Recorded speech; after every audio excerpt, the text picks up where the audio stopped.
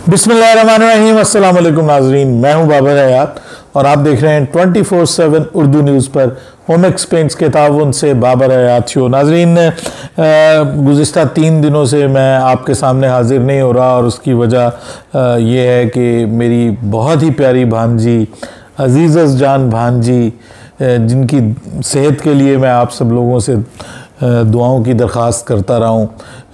वो अब हम में मौजूद नहीं हैं। इन्ना लाला व इन्ना तीन दिन पहले जिस दिन मैंने लास्ट वीडियो अपनी अपलोड की थी और मैंने आपको बताया था कि वो काफ़ी बेहतर लग रही हैं और मुझे उम्मीद पैदा हो गई थी। हम सबको फैमिली वालों को उम्मीद पैदा हो गई थी कि वो अब बेहतर हो रही हैं और इन वो सेहत याब हो जाएँगी। तो उसी दिन, शाम के वक्त, रात के वक्त, साढ़े आठ बजे अल्लाह पाक ने अपना फ़ैसला सुना दिया उसके हवाले से और वो इस दार फ़ानी से कूच कर गई।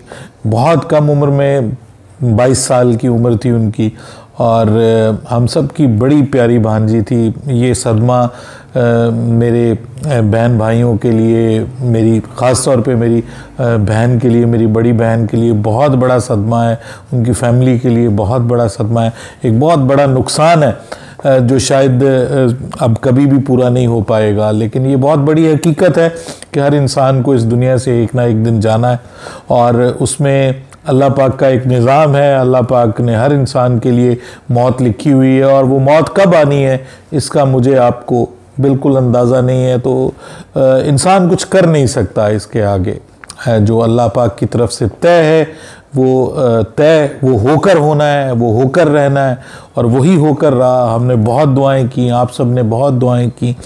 अल्लाह पाक अब उन दुआओं से आ, हमारी उस बेटी को जन्नतफरदौस में जगह अता फरमाएगा इन बड़ी नेक बच्ची थी और उसने जो आखिरी अमल किया था वो नमाज़ मगरब उसने पढ़ी थी जिसके बाद फिर वो आ, एक डीप स्लीप में चली गई थी। जो डॉक्टर की लापरवाही बताई जा रही है कि उनको उसको एक ऐसा इंजेक्शन दिया गया जिससे वो डीप स्लीप में चली गई और उसके बाद फिर वो होश में नहीं आई। सो बड़ी प्यारी बच्ची थी हमारी। अल्फाज नहीं है मेरे पास और मुझे यकीन नहीं आ रहा कि चंद दिन पहले वो हमारे साथ थी और ज़िंदगी से भरपूर थी और तीन दिन पहले हम अपने हाथों से उसको कब्र में उतार के आए हैं। ये नाकबिल यकीन है, हम सबको यकीन नहीं हो रहा, लेकिन फिर भी हमें यकीन करना है कि ये हकीकत है और ये अल्लाह का हुक्म है और हमें उसके सामने सरबसजूद होना है, अपना सर झुकाना है और हम अल्लाह के हुक्म पे राज़ी हैं, माँ बाप भी राज़ी हैं, सब राज़ी हैं और अब दुआ ये है कि अल्लाह पाक उसकी आखरत को बहुत अच्छा करें और जन्नतफरदौस में उसे आला मुकाम अता फ़रमाएँ। और ये जो सदमा है, ये जो दुख है, ये बर्दाश्त करने का ख़ास तौर पर जो माँ माँ बाप हैं, जो उसके बहन भाई हैं, उनको और फिर ओवरऑल पूरी फैमिली के लिए ये बहुत बड़ा झटका है। हम सबको ये सदमा, ये दुख बर्दाश्त करने के की तौफीक दें, सब्र जमील अता फ़रमाएँ। ये सब दुआएँ साथ हैं। बहरहाल आज एक बार फिर I am back on work और आपको पता है यही दुनिया है। हमें आना है ज़िंदगी की तरफ़। हम तीन दिन का सोग है हमारे दीन में। उसके बाद आज फिर आपकी खिदमत में हाज़िर हूँ और कैफियत यहाँ पाकिस्तान क्रिकेट की भी कोई बहुत अच्छी नहीं है। सिडनी टेस्ट मैच पाकिस्तान एक और शिकस्त की जानब बढ़ रहा है। ये वो टेस्ट मैच जिस पे हम सब बहुत सारी उम्मीदें लगा कर बैठे हुए थे कि पाकिस्तान इस टेस्ट मैच में अच्छी क्रिकेट खेलेगा, कम बैक करेगा और पाकिस्तान ने अच्छी क्रिकेट खेली भी। इस टेस्ट मैच में ऐसा लगा कि पाकिस्तान एक पहली बार ऑस्ट्रेलिया से आगे है इस टेस्ट मैच में इस पूरी सीरीज़ में।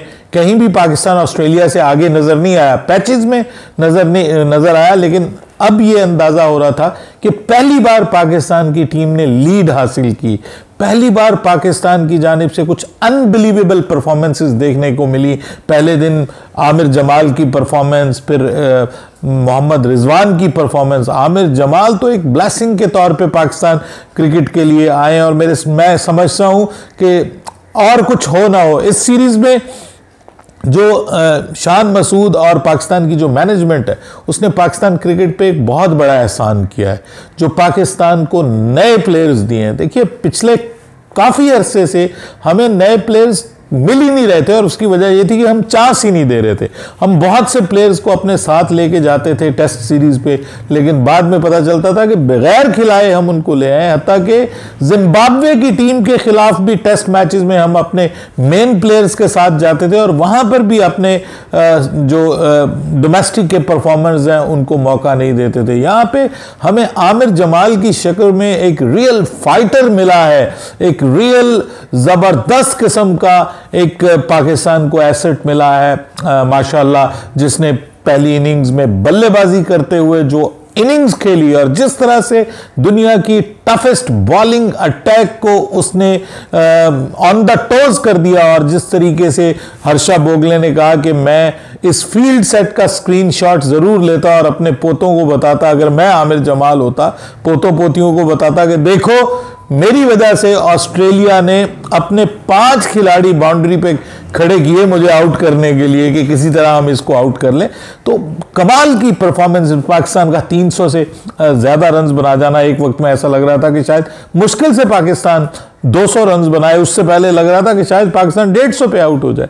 सो so, पाकिस्तान ने कम किया और उसके बाद फिर पाकिस्तान की जो बॉलिंग ने खास तौर पे आज एक बार फिर Aamir Jamal the headline of the series so far जिस तरीके से आज आमिर जमाल ने पाकिस्तान टीम की तरफ़ से बॉलिंग की और जिस तरीके से 10 रन सिर्फ़ 10 रन के अरसे में 10 रन देकर पाकिस्तान ने उनकी पाँच विकेटें गिरा दी और ऑल आउट कर दिया उनको 299 पे, जबकि 289 पे उनके फाइव डाउन थे और उसके बाद 299 पे उनके ऑल टीम को आउट कर दिया। तो एक उम्मीद जाग पड़ी थी कि यार Pakistan is going to have something in this test match और लग रहा था कि जो भी लीड पाकिस्तान ने हासिल की है, लग रहा था कि पाकिस्तान उस लीड को आगे कैपिटलाइज करेगा और बढ़ाएगा और पाकिस्तान की टीम इस टेस्ट मैच में स्ट्रांग पोजीशन पे आ जाएगी, लेकिन ऐसा नहीं हो सका। और ऐसा अगेन पाकिस्तान की बल्लेबाजी बुरी तरह जो है वो पाकिस्तान की अप्रोच और पाकिस्तान का माइंडसेट जो है वो एक्सपोज हुआ है। थोड़ा डिफेंसिव माइंडसेट के साथ पाकिस्तान की टीम मैदान में आज उतरी थी। अनलाइकली कि जो इससे पहले पाकिस्तान ने इनिंग्स खेली, जिस तरह से शान मसूद खेले पिछली इनिंग्स में, और उसके बाद फिर रिजवान खेले, सलमान अली आगा खेले, फिर आमिर जमाल खेले एवरी वन वॉज़ पॉजिटिव लेकिन यहाँ पर आज ऐसे लग रहा था कि पाकिस्तान की टीम एक शेल में चली गई, एक खोल में चली गई है और पाकिस्तान के बल्लेबाजों से कुछ हो नहीं पा रहा। कुछ पॉजिटिविटी नज़र नहीं आई, सिवाय साय मयूब के, जिन्होंने आज कुछ पॉजिटिविटी दिखाई और आज उन्होंने दिखाया भी कि वो एक टैलेंटेड प्लेयर हैं, उनके अंदर टैलेंट है, दमखम है। आज उन्होंने दुनिया के ख़तरनाक तरीन बॉलर को छक्का मारा। मिचल स्टार्क को, और उसके बाद पहली गेंद जब उन्होंने पैट कमिंस की, फेस की अपने इंटरनेशनल कैरियर में तो उसके ऊपर उन्होंने ज़बरदस्त शॉट खेल के चौका लगाया। So things were very good for Saim Ayub लेकिन वो भी उसको कैपिटलाइज नहीं कर सके, आगे नहीं बढ़ा सके। Babar Azam got a start but Babar Azam भी उसको आगे नहीं लेके जा सके। एक गैर ज़रूरी शॉट उस वक्त मैं कहूँगा कि at the stroke of the end of the day आप इस तरह की जब शॉट खेलते हैं और आपके ऊपर पूरी टीम जो है वो आ, उसका इहसार है कि आपने अब खेलना है और अपनी टीम को एक ऐसी लीड की तरफ़ लेकर के जाना है कि जिसपे पाकिस्तान के बॉलर्स को कुछ आउट करने का कोई मौका मिले। लेकिन बहरल वहाँ पे बाबर आज़म का आउट हो जाना और फिर उसके बाद पाकिस्तान का क्लैप स्टार्ट होता है। Recap just like Australian batting Pakistan were fifty eight for two और उसके बाद एंड करता है पाकिस्तान आज के दिन में सिक्सटी एट फॉर टू यानी सिर्फ़ दस रन के अरसे में पाकिस्तान की पाँच विकेटें जिसमें से एक ओवर में हेजलवुड ने तीन पाकिस्तान के बल्लेबाजों को आउट करके पाकिस्तान की इस टेस्ट मैच में उम्मीदों पर पानी फेर दिया। और यूँ पाकिस्तान की टीम 82 रन्स की लीड पे इफेक्टिवली पाकिस्तान के साथ आउट हैं। Only hope is now Mohammad Rizwan and Aamir Jamal उनके साथ if they can do something on day four कि पाकिस्तान की लीड को एटलीस्ट 150 तक ही ले जाएँ because pitch is doing too much too many tricks spinners को खेलना ऑलमोस्ट जो है वो इम्पॉसिबल हुआ हुआ है। इवन ट्रेविस हेड ने आज विकेट ली। तो मुझे अफसोस होता है जब बाबर आज़म मिचल मार्च को विकेट देते हैं, जब बाबर आज़म ट्रेविस हेड को विकेट देते हैं तो अफसोस होता है इस पूरी सीरीज़ में बाबर आज़म बाबर आज़म की तरह परफॉर्म नहीं कर पाए। That is the most important thing Pakistan ने अगर यहाँ पे जीतना था तो बाबर आज़म को उसमें रोल प्ले करना था, वो नहीं कर सके। Another Australian series Babar Azam के लिए it's like not even a single half century for Babar Azam, छह इनिंग्स में। ये बाबर आज़म की टेस्ट एबिलिटीज कैपेबिलिटीज के ऊपर बड़ा क्वेश्चन मार्क बनेगी। Babar would be under big pressure और टेस्ट मैचेस अब हमें बहुत आगे जाके खेलने हैं। शायद 10 महीने के बाद जाके पाकिस्तान को टेस्ट मैचेस खेलने हैं। लेकिन अगेन मैं ये कहूँगा कि इन बड़ा प्लेयर टेस्ट मैचेस से बनता है और जब आप मुश्किल कंडीशंस में परफॉर्म करते हैं तो फिर आप करते हैं। लेकिन at the end of the day मुझे ऐसा लगता है कि साइम अयूब ने जो मिचल मार्श का यहाँ पे कैच ड्रॉप किया, सात रन के ऊपर। अब जस्ट इमेजिन कि वो सात रन के ऊपर मिचल मार्श का कैच ही पकड़ लेते और उसके 54 में से सात आप निकाल दें तो आ, मतलब 47 रन बनते हैं जो पाकिस्तान ने एक्स्ट्रा खाए एटलीस्ट 47 रन और वहाँ पर मिचल मार्श का साइम अयूब ने जो एक मस्ट टेकन कैच था वो ड्रॉप किया। और पाकिस्तान की उम्मीदें भी पाकिस्तान की वहाँ पे ड्रॉप हो गई। ये मिचल मार्च को हमने जब पिछले मैच में भी मौका आपको पता दिया था तो वो भी हमारे गले पड़ गया था और अब यहाँ भी वही मौका हमने एक बार फिर दिया। और जस्ट 47 रन आप 82 में ऐड कर दें और आप देखें कि पाकिस्तान इस वक्त अच्छी खासी उस पर पोजीशन पे होता।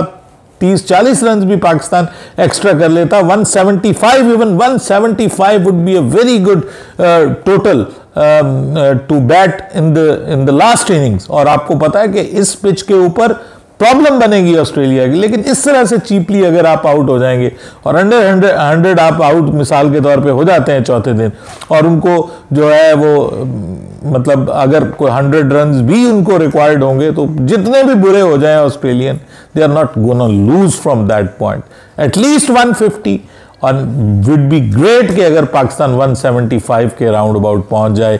सबकी नज़रें अब एक बार फिर आवर जमाल पे लगी हुई हैं, मोहम्मद रिजवान पे लगी हुई हैं। चौथे दिन ये क्या करते हैं, ये हमें देखना है। बट जब आप बार बार कैचेस ड्रॉप करेंगे तो प्रॉब्लम तो बनेगा। आज शान मसूद भी बाहर जाती हुई बॉल को खेल कर आउट हो गए प्रेशर फेस नहीं कर पाए, ऊपर से अब्दुल्ला शफीक एक पैर पे थे आज आज वो दूसरी बार ज़ीरो पे आउट हो गए। मतलब इस तरीके से जब आप परफॉर्म करेंगे, और फिर सबसे बड़ी disappointment Saud Shakeel highly rated हमने उसको कहाँ से कहाँ पहुँचाया हुआ था, और वो इस पूरी सीरीज़ में बड़ी नाकामी साबित हुए हैं साउथ शकील।